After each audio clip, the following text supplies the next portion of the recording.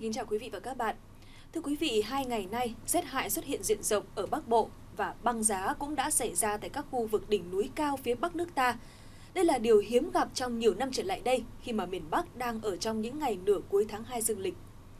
Dự báo trong đêm nay và ngày mai, các tỉnh Bắc Bộ sẽ còn chịu tác động của khối không khí lạnh nên thời tiết khô giáo và nhiệt độ thì tăng dần.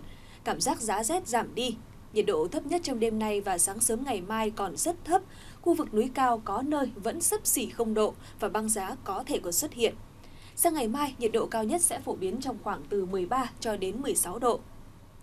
Với các tỉnh thành miền Trung, mưa chỉ còn diễn ra rải rác ở các tỉnh Trung Trung Bộ, còn lại thì ít mưa và nhiệt độ duy trì ở mức ổn định. Rét đậm rét hại kéo dài ở các tỉnh Thanh Hóa, Nghệ An và Hà Tĩnh, nhưng đến khu vực Nam Trung Bộ thì trời có nắng với mức nhiệt tăng lên là 27 cho đến 30 độ. Trong khi các tỉnh thành phía Bắc chìm trong giá rét, thì khu vực Tây Nguyên và Nam Bộ nhiệt độ chỉ giảm nhẹ về đêm và sáng, thế nhưng dấu hiệu của những cơn mưa rào trái mùa lại xuất hiện.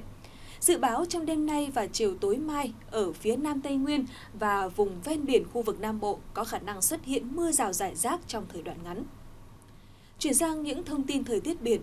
Thưa quý vị, do ảnh hưởng của không khí lạnh nên ở Vịnh Bắc Bộ và khu vực Bắc Biển Đông, bao gồm cả vùng biển huyện đảo Hoàng Sa, còn có gió Đông Bắc mạnh cấp 6, có nơi cấp 7, giật cấp 8, cấp 9 biển động. Khu vực Nam Biển Đông, bao gồm huyện đảo Trường Sa, có gió Đông Bắc phổ biến ở mức cấp 5. Như vậy là trong đêm nay và ngày mai, Bắc Bộ khô giáo nhưng nhiệt độ vẫn ở ngưỡng rét đậm rét hại. Quý vị chú ý có những biện pháp giữ ấm cho cơ thể và trong sản xuất nông nghiệp để không bị tác động do đợt rét kéo dài gây ra. Và đến đây, bản tin thời tiết tổng hợp ngày 21 tháng 2 của Đài truyền hình kỹ thuật số VTC xin được khép lại. Xin kính chào tạm biệt và hẹn gặp lại.